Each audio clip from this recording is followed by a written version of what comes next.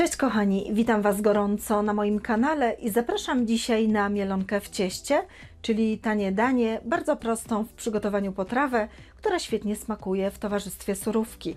Zapraszam do oglądania filmu. Składniki. Do miski wsypujemy mąkę, dodajemy mleko oraz jajka.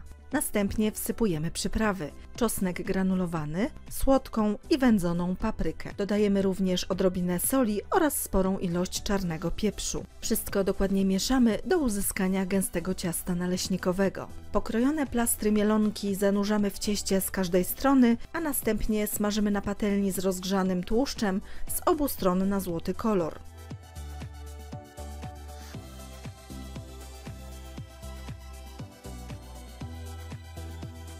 Usmażoną mielonkę zdejmujemy z patelni i odsączamy z nadmiaru tłuszczu na papierowym ręczniku. Tak przygotowane danie podajemy z ziemniakami i surówką. Po więcej pysznych przepisów zapraszam na mój kanał Smakowite Dania oraz na stronę smakowitedania.com.